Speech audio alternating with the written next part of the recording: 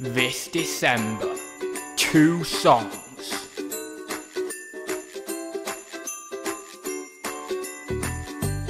One journey. And does he return? Introducing the Christmas specials. Would you believe it? I've literally just recorded this video and I've had my mic turned off the whole time. Honestly, sometimes I don't know how I even do YouTube, but anyway. Um, and I've done that twice in the last week, so I've had to re-record two videos in the last week. But anyway, let's get on with the video. So what is in today's video? Well, I'm going to be sharing with you 10 different items of Lego that I sold on Amazon recently. Now, if you've been following the channel for quite a while, you will know that obviously from about October 2017 to maybe January, February of this year, 2018, um, I made sort of some large investments, or I put quite a lot of money into sort of Lego, you know, Lego investing, that sort of stuff, or if you prefer, obviously, long tail Lego RA.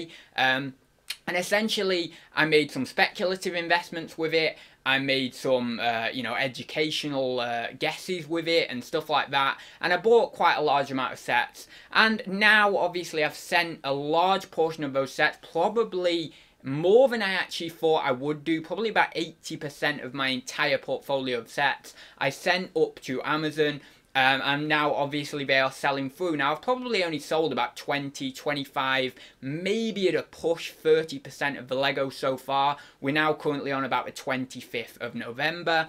Um, and some of it was time sensitive, you know, some of the advent calendars and stuff were uh, time sensitive. Obviously you want them sold before the 1st of December um, because obviously they are advent calendars.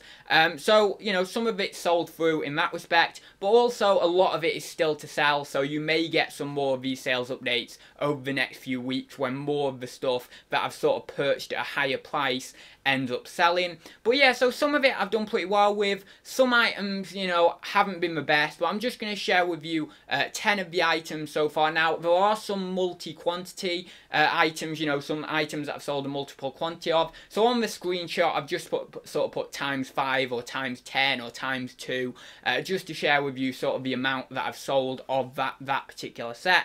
Now, they are on my uh, phone, the screenshots, but obviously I'm going to put them up that way even. Um, so if I look look down at my phone occasionally. I do apologise, um, but obviously I need to look down to check prices and stuff and share with you uh, the items. So essentially, number one, I sold five of these. This is 75165. I believe it's the Imperial Trooper Battle Pack. Um, now, these I actually was pretty confident on. I did a video on these. It's actually... Um, how I think it was like how to be a successful Lego investor or something. No, it wasn't that. It was um, five Lego investing success tips or some, something like that. I think what I'll do is put a card somewhere and that'll probably explain it better than I've just done. But um, yeah, so I did a video on these and I explained my process of how I actually go about uh, picking Lego investments. And I, I, do believe that process still holds up even now, uh, even though that video was probably done maybe a year ago, ago or something like that. Um, but yeah, these were pretty much a screaming buy for me. I really did feel confident on these.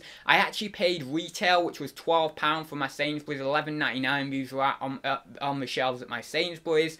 And um, yeah, I bought quite a few of these. I bought like 12 or 14. Um, and I've sent most of them up. I think I've held a couple back maybe just for next year or so. I have held a few of my Lego investments back actually for next year. Um, but yeah, as I say, I've sent quite a lot of these up. I've currently sold five of them at £30. So, you know, obviously these aren't the margins that uh, you get with, you know, car boots and stuff when you go and you're paying 50p for an item and you're flipping it into 10, 15 pound. These are retail arbitrage margins. They're not as good, but still, they're, they're still a pretty good, decent margin. They're still uh, you know, a decent level of profit on that. And in terms of an, an, an investment, you know, like a traditional investment like stocks or, uh, you know, like putting your money in a bank or peer-to-peer lending or whatever other investments you can think of, it is a very, very good return on investment or return on the capital you've employed in the time period that we're talking. So, yeah, that was those. So I'm pretty happy with that. As I say, more of them to sell, so I'm quite happy with that one. Now, next was one that really did well for me. So this is Lego 21027, the architecture skyline, which was Berlin skyline even. And as you can see, I sold two of these at 54.99 each. Now I wish hindsight is obviously a beautiful thing.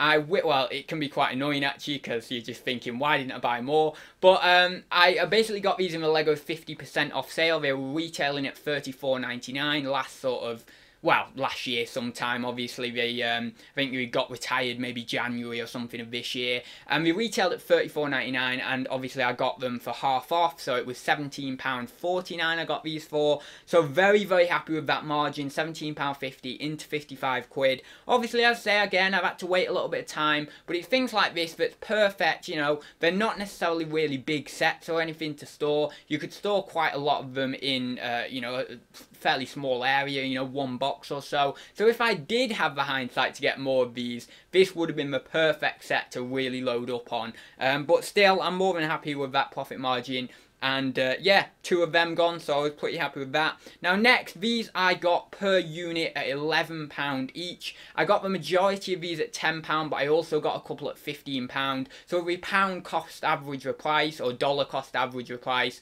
it's going to be around £11. I paid £110 for 10 of these. So I'm pretty happy with that margin, but you know what? I am a bit annoyed at the same time because last year I was tracking the market on these. When I was starting to get into Lego investing and thinking that I would do this in the future, I wanted to make sure that I was doing sort of some right decisions. I was making some right moves. And I did actually track the market on the 2016 Lego uh, advent calendars for the 2017 market. And I realised that we were going for sort of 35 to 40 pound. I think 40 pound might have been maximum, but certainly 35 pound. The 2016 ones were obviously selling for that uh, in 2017, at sort of November 2017. Now this year, the 2017 ones in obviously November of 2018, this month, uh, they haven't quite hit that price that the 2016 ones did. So I am a little bit annoyed, you know, I am a little bit annoyed on that. They didn't go to the £35, they didn't go above the £35. Now, at the time I'm recording this, it's currently the 25th of November. Now, I've sold out of them because I'm not playing the risky game of, you know, pricing at $34.99 and waiting till the 29th of November or the 28th of November, just a few days before anyone's going to really want them this time of year, uh, because obviously after December 1st, not as many people are going to want them. I'm sure the sales rank will still be decent, but I, I think the price would drop slightly as well. So uh, it's kind of a time sensitive one, so I didn't want to run that game of being quite that risky. And as I'm recording this, the price has gone up to £31.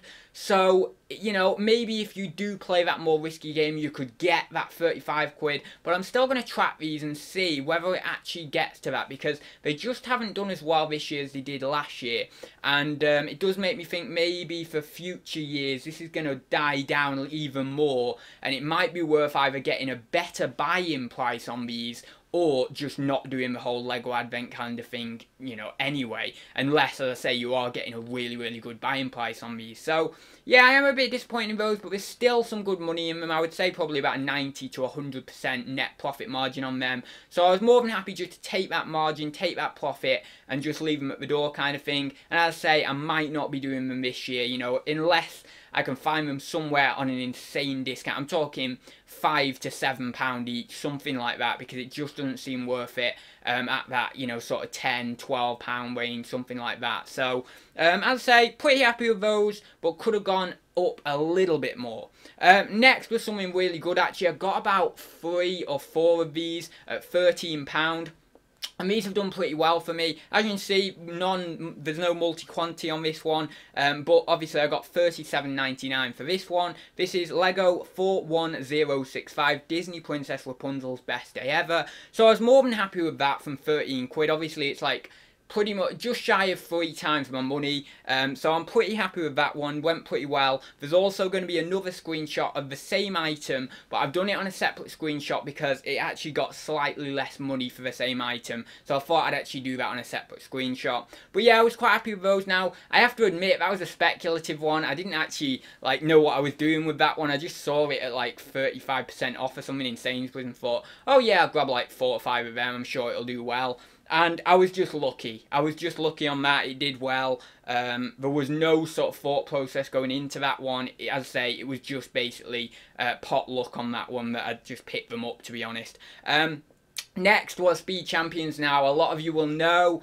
how um, sort of crazy I was for Speed Champions a year ago. I got a lot of Speed Champions, and the majority of them have done really, really well. The market has performed really, really well for them, and they're probably going to be my best return on investment out of all the Lego sets I got. And I will be sharing with you a few different Lego Speed Champion sales in this sales update. So as you can see, this is the first one. It's Bugatti Chiron, I think is how you pronounce it, and it's uh, 758 878 uh, and I got 34.99. I've actually sold three of these. I've got another six, uh, five or six up at the warehouse still to sell. So that's pretty cool. Um, and these have gone quite recently actually. As you can see, three of them gone there. So I'm quite happy. Um, yeah, from and I actually paid retail on these. I paid 13 quid. So again, I was taking a risk at re paying retail for these. But I just, I, I, I kind of with a few of the different parameters that I set and a few of the different ways I go about Lego investing, um, I kind of knew that these would do pretty well. And yeah, within a year, obviously they've almost tripled in value from retail price. So I'm more than happy with that. Three times my money back on that one in turnover. So yeah, pretty happy with that. Next was Lego uh, BrickHeadz 41585 now. We all know about my BrickHeadz uh, phase where I thought, oh yeah, these BrickHeadz are going to do really well. Uh, last year, obviously, you will be able to see that in the haul videos. If you haven't already, you can go back and uh, go on my Lego investing playlist on my channel and you can see the haul videos. And, you know, I'm buying the uh, BrickHeadz. I'm getting a few of them sort of like 20-30% off. I'm buying a few of them at retail price, which was a tenner. Um, and a lot of them didn't perform as well as I thought. Now, don't get me wrong, I'm still going to get a bit of money out of them but not as much as I hoped. You know, I think really the the mo the least one of them is going for is like 14, 15, 99, but the most one of them's going for is about this range of about 23 quid. So, you know, from 7 to 10 pound investment, that is not a good return on investment for what I particularly want. Um, now, that being said, I am going to keep a fair few, or have kept a few, fair few, uh, back here. I've not sent them to the warehouse. I'm going to wait on them a little bit and see if maybe we can creep up a little bit more. Um, but I have sent a few in, clear my money on them, get a little bit of profit where I can on them, and then use that money to reinvest in things that I'm more confident on. I am going to be doing the whole Lego investing. I'm going to continue it, um, and I am going to be doing it, you know, next year and stuff. But I am going to be very, very cautious because I know that Amazon um, is putting in place quite a lot of restrictions these days, and I, I do want to protect protect my investments. So when I am looking for new Lego investments, I'm going to be actually drawing on eBay prices um, or what I feel I could get back in a year's time on eBay rather than last year like I did on Amazon prices because if Amazon restrict me, then at least I've obviously done my research based on eBay prices or projected eBay prices, and I can end up selling them at a decent profit that way. So you've always got to be thinking, you know, 12 months in advance and thinking how you can kind of uh, game the system. It's kind of like a game of chess essentially with Amazon and eBay and stuff and these diff- and the market. You're like playing with the market essentially.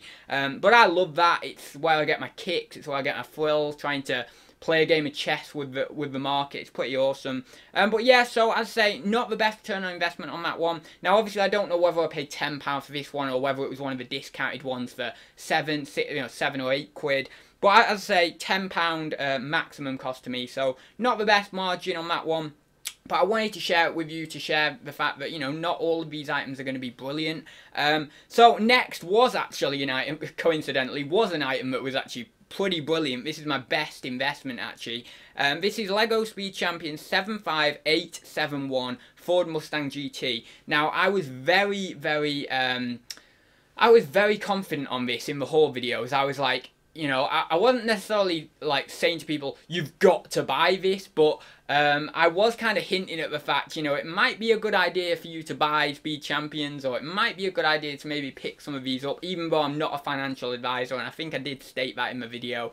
Um, but I did buy quite a lot of these. I bought 15 of these, and I'm feeling pretty smug right now, because I'm like, yes, I actually called this one right, um, like a year in advance. And again, you can go back to the whole videos and actually see me uh, say uh, talking about this one and being quite optimistic on this. So as you can see, I sold one of these for $49.95. Now I've already cleared two of these about a month ago at $39.95, but I decided to wait to uh, you know for the others to go up in value because I thought I might be able to get 50 at Christmas for these. So I've sent like another 10 in. I've kept another three or so, two or three back here just for next year or so. You know I might clear them. I might be able to get more. I might be able to just get less anyway. But I thought I'd just keep a few few behind. It's always good for um, you know, some investments just to keep a few. Oh, focus has gone a bit. Uh, just keep a few back just in case the market does something that you're not expecting. You know, either it goes up in value quite a lot or something like that. Um, but I can't really see the there being much more value in these. I mean, I think 50 quid's got to be the ceiling on these.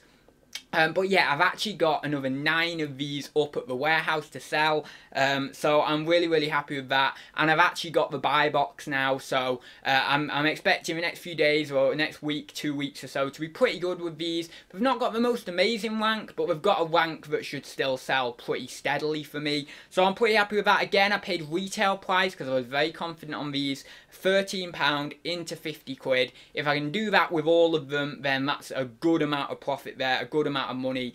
Um, and yeah, I'm really, really happy with that one. Next, we've got LEGO Speed Champions. One of the Speed Champions that didn't do as well, um, which is the... Luckily, I actually only bought one of these, so it's not that bad. Um, and I actually got this for a 30, 20 or 30% discount. Instead of 13 quid, I actually got this for a tenner.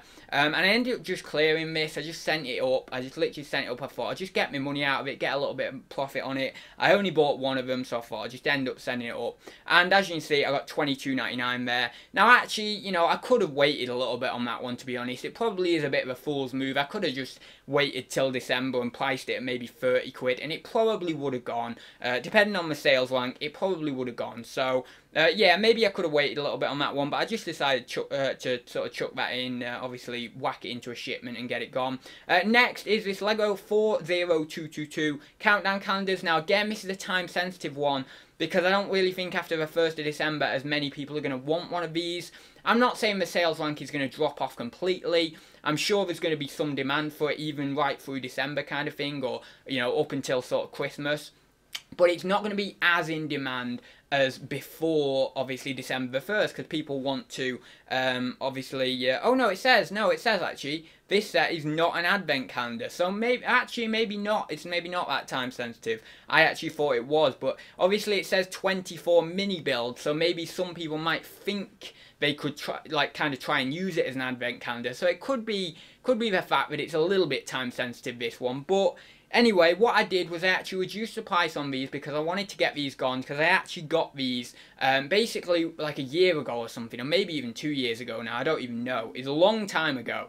But I got um, these with like if you spend over 50 quid in the Lego shop or might have been 75 pound in the Lego shop, you get one of these as a free gift or something. So I, I was thinking, well, if this is a bit time sensitive, I might, um, what I might do is reduce the price and just get them gone, get some money in the bank, and obviously it doesn't really matter to me because it's not really attributed, there's no value attributed or there's no cost price uh, for me attributed to these. So obviously I got 2270 on that.